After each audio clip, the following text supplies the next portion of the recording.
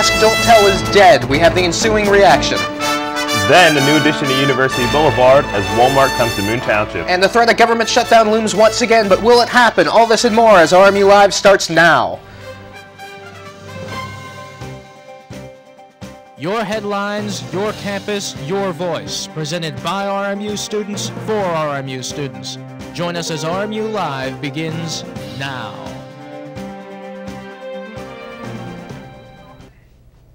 Tuesday marked the end of the military's Don't Ask, Don't Tell policy. President Obama signed a repeal of the law in December of last year, but the Pentagon held off on officially doing away with it until new rules and new training were put in place.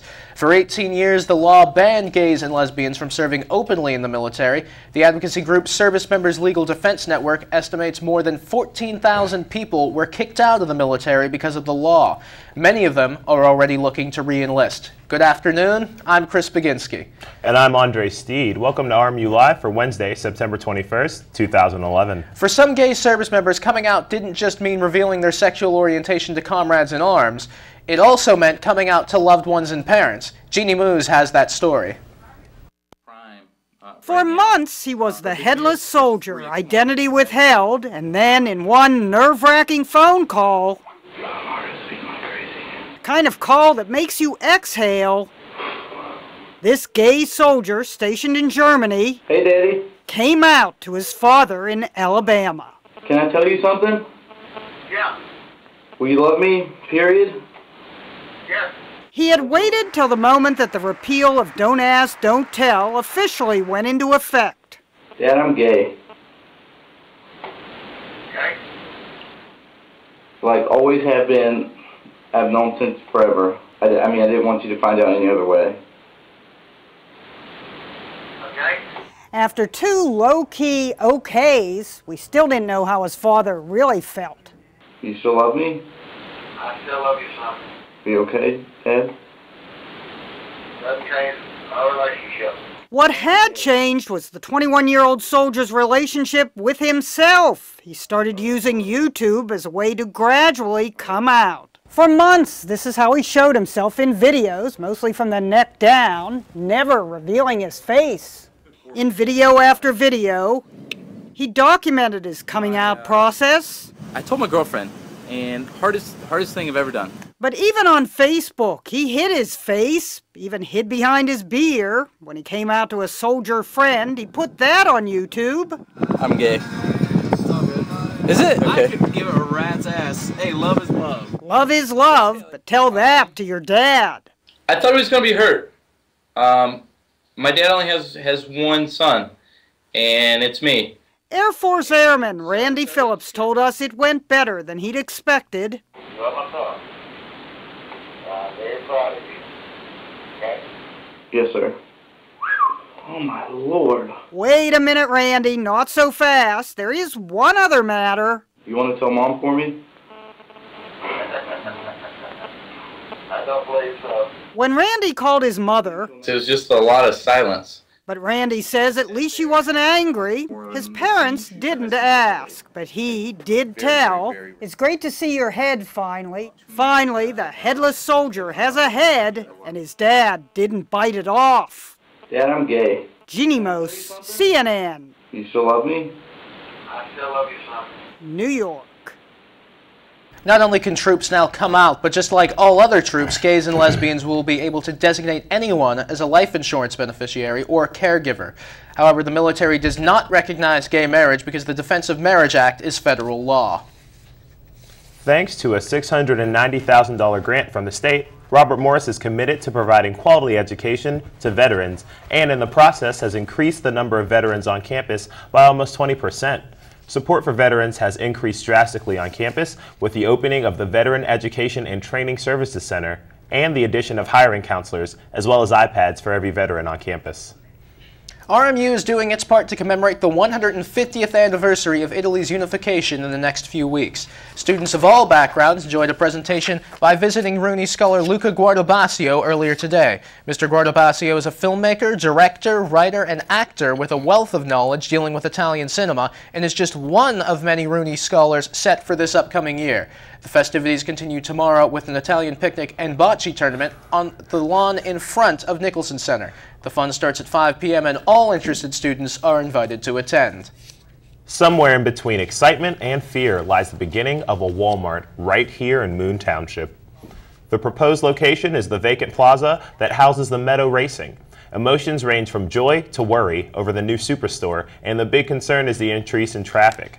This issue is so contested that Walmart has to work with PennDOT to create new and safe traffic patterns, including widened roads and more signals and signs. The superstore will bring approximately 600 jobs to the area, so hopefully they get this done.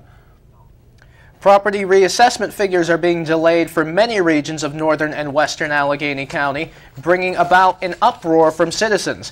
Neighborhoods like Millvale, Fox Chapel, McKees Rocks, Shaler, and Moon are feeling the effects of the delay, which is making budget planning nearly impossible.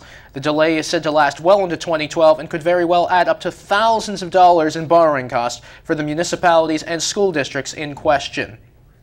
Walking around campus, it's hard not to see someone using a smartphone, and there are more apps out there than anyone can keep track of. They have to be created by somebody, and that's a good thing for the economy. Alison Kosik has the details. Farmville, Angry Birds, Words with Friends, they're all popular apps and they're all helping to create a sector that's giving a big boost to the labor market. A study from the University of Maryland's School of Business is calling it the Facebook app economy and more than 180,000 jobs have been created because of how popular Facebook has become. According to the study's economic model, the app economy is putting more than $12 billion in benefits and wages in the pockets of American workers. The study focused on apps built for mobile devices, tablets, and Facebook, but it says the majority of the job creators came from apps that can span across all three platforms, such as Words with Friends, a Scrabble-like game that users play one-on-one. These developers and their companies are at the forefront of the job creation.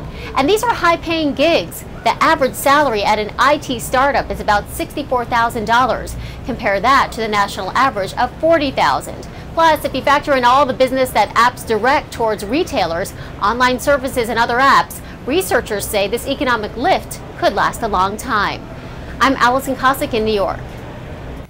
On Monday, the FBI released their 2010 report on crime in the U.S. The report reveals that crime across the country has dropped about 6%. In Pittsburgh alone, there were 300 less violent crimes, which is about 9% of the crimes in the city. This is the fourth straight year that the number of crimes in Pittsburgh has gone down. Up next on RMU Live, could we once again be, the, be under the threat of a government shutdown? Also, a former WE, WWE executive in the Senate. It could happen. And Vinny Ruggieri has the weather forecast. Stay tuned.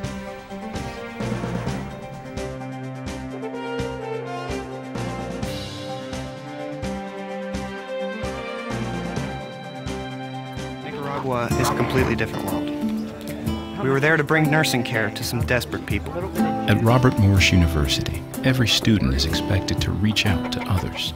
The very first person that I met was David. Kept saying, you have to come to my house and watch me play my trumpet.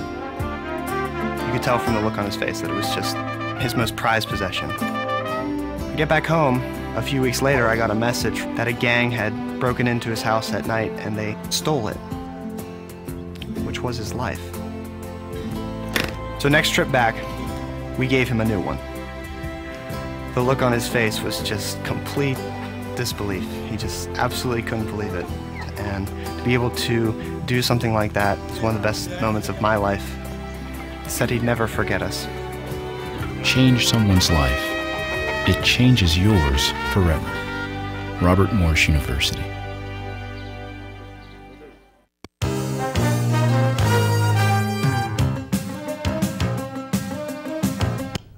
The Senate's top Democrat is warning of a possible government shutdown, despite some Republican claims to the contrary. Congress has to pass a funding bill to keep the government running after September 30th. Senate Majority Leader Harry Reid says Republicans aren't keeping their word on funding the Federal Emergency Management Agency.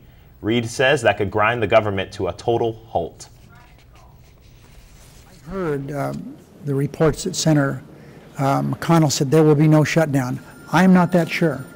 I'm not that sure because the Tea Party driven House of Representatives has been so unreasonable in the past. I don't know why they should suddenly be reasonable. So um, all the um, polling done has shown that the American people are really tired of what has gone on with the Tea Party folks driving the message from the House. And uh, I'm not as certain as um, McConnell because we're not going to cave in on this because it's a matter of principle. Not only do they um, give us inadequate funding, but to rub salt in the wound, they take a program that creates jobs to pay for the first year. Republicans insist that any money for disaster relief must be offset by cuts in the stopgap funding bill. This House is scheduled to take up the measure on Wednesday. Former professional wrestling executive Linda McMahon is getting back in the ring. Not the wrestling ring, but the political one. McMahon announced that she is making a second run to represent Connecticut in the U.S. Senate. This time, the Republican is going after the seat that opens when Joseph Lieberman retires next year. Gentlemen, I am a proven job creator, and today I am announcing that I am a candidate for the United States Senate. And the chairman of World Wrestling Entertainment. Linda McMahon served as president and CEO of WWE until 2009. She spent tens of millions of dollars in a failed bid for the other Connecticut Senate seat last year. Vice President Joe Biden was in Chicago today, drumming up support and money for President Obama. Biden posed for pictures with supporters following a dinner event at the home of Chopper Trading CEO Raj Fernando. Tickets for the dinner reportedly started at about $10,000. Earlier, Biden hosted a reception at the downtown Sheraton. Tickets to that event were $500 a plate. Mm.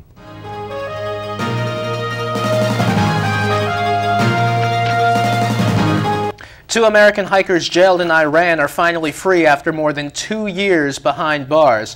A U.S. official says the pair was released today on bail. Shane Bauer and Josh Fattal were convicted last month of entering Iran illegally and spying for the U.S. They were sentenced to eight years in prison. You'll remember the two men were arrested in July 2009 after they say they mistakenly crossed into Iran. A third hiker was also arrested that day, but she was later released for medical reasons. Leaders of Libya's new interim government say they're working toward stability. They spoke today at the UN headquarters in New York about forming a more permanent government to replace Muammar Gaddafi's regime. I think we better have uh, good consultation. We better talk before we act. I think this government, when formed, will help tremendously bring about stability and order in Tripoli and the rest of the country. Therefore, I am not bothered by, by the time we are consuming, you know, to, to bring about some sort of national consensus behind this government, you know. I expect the government to be announced within a week, 10 days maximum from now, you know. Uh, most of the work has been done.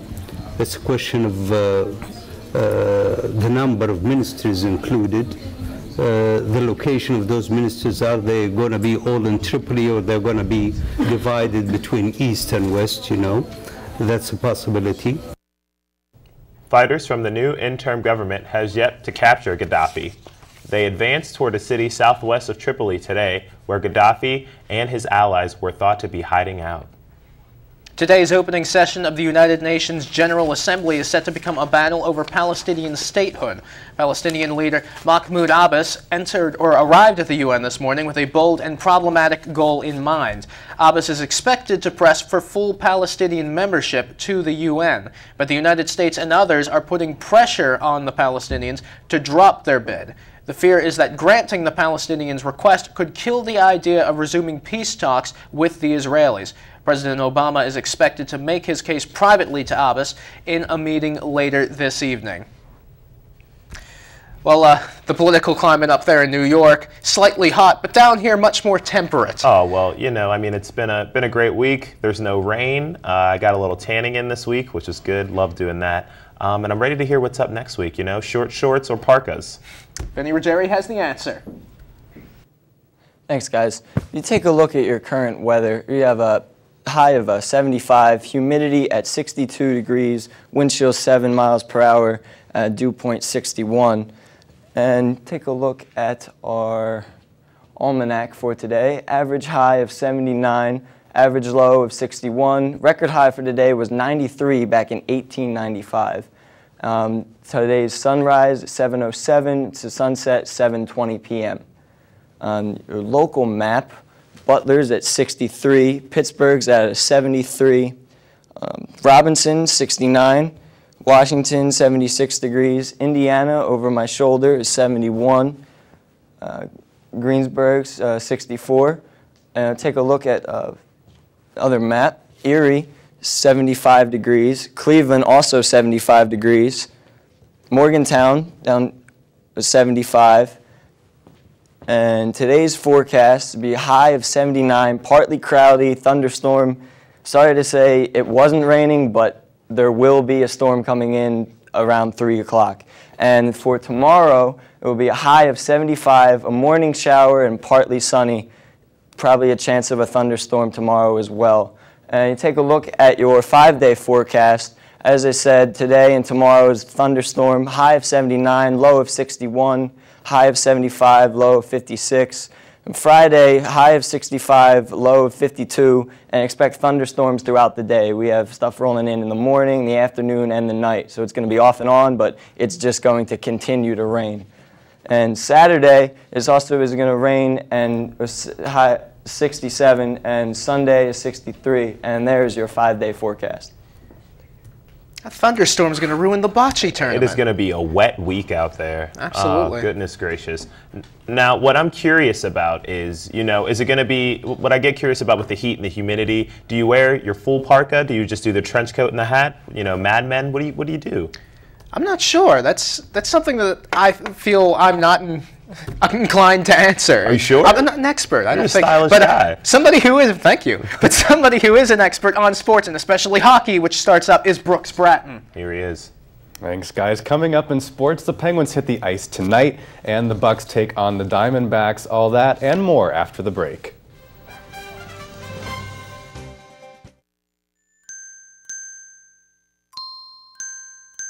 Her final exam started 10 minutes ago. She'll wake up hungover. And won't remember what happened last night. Extreme behaviors have extreme costs.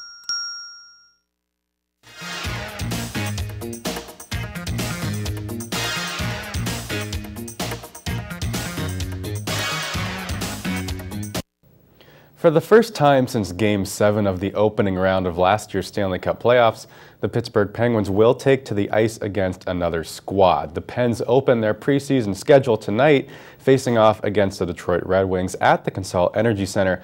Puck drop is set for 7 p.m. and the game can be seen on Root Sports Pittsburgh. Now, Captain Sidney Crosby continues to take part in non-contact training camp practices. The All-Star Center says that he has not experienced any symptoms over the weekend stemming from his concussion suffered back in January. Now, there's still no timetable as to when Crosby will be cleared for contact. And tonight marks the first of six preseason games for the Penguins. They'll host Chicago tomorrow night, Minnesota on Saturday, before hitting the road next week.